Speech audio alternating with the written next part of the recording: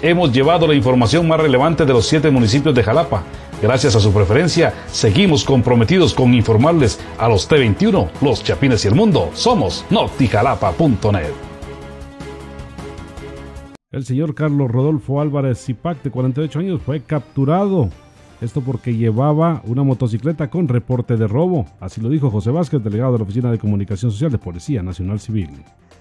Carlos Rodolfo Álvarez Zipac, de 48 años, fue capturado por agentes uniformados de la Policía Nacional Civil a inmediaciones del kilómetro 93, ruta que conduce de la cabecera departamental de Jalapa hacia Sansare El Progreso.